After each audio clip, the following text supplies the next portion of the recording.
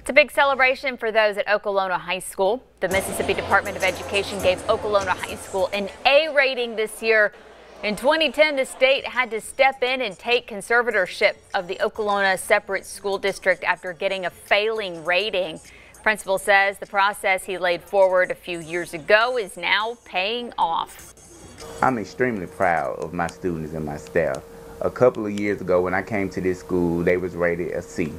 And the last couple years, we leveled up to a B for two years of where we have come because this is a historical A for our district and for our school. A number of schools across the area also scored high. For a look at how your school rated, go to WTVA.com.